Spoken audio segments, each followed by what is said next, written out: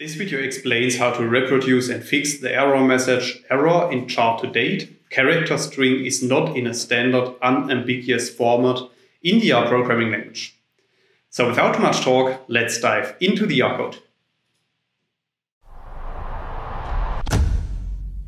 So let's assume that we have a character string which contains a date in the format as you can see in line 2 of the code.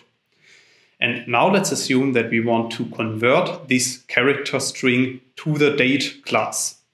Then we might try to apply the as.Date function, as you can see in line 2 of the code, to this character string. However, if you run this line of code, you can see that at the bottom in the RStudio console, the error message error in charToDate x character string is not in a standard unambiguous format is returned. And the reason for that is that the date is not formatted in the way that the as.Date function expects. And for that reason, the as.Date function doesn't know how to convert this character string. So there's one simple solution, which is to rewrite your date, as you can see in line 4 of the code. So the standard format that the as.Date function takes is that you first specify the year, then a minus sign, then the month, then another minus sign, and then the day. So if you run line 4 of the code, you can see that the date is returned in a proper way, and this date is actually formatted as the date class.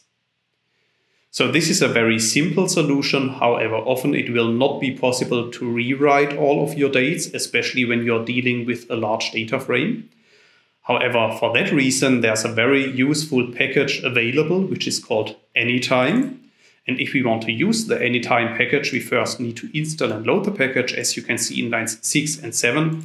I have already installed the package, so for that reason, I'm just going to load it with line 7 of the code. And now in the next step, we can apply the AnyDate function, which is provided by the Anytime package to our original character string. And then you can see that at the bottom in the RStudio console, our character string was automatically formatted to the proper date format and the output of the AnyDate function is also a data object with the date class. That's all I wanted to explain in this video. In case you want to learn more on this topic, you may check out my homepage, statisticsglobe.com, because on my homepage I have recently published a tutorial in which I'm explaining the content of this video in some more detail. I will put a link to this tutorial into the description of the video so you can find it there. If you have liked this video or if you have any questions, let me know in the comments section below. I'll try to respond to all comments as soon as I can. Furthermore, make sure to subscribe to my YouTube channel to get notified about future video releases.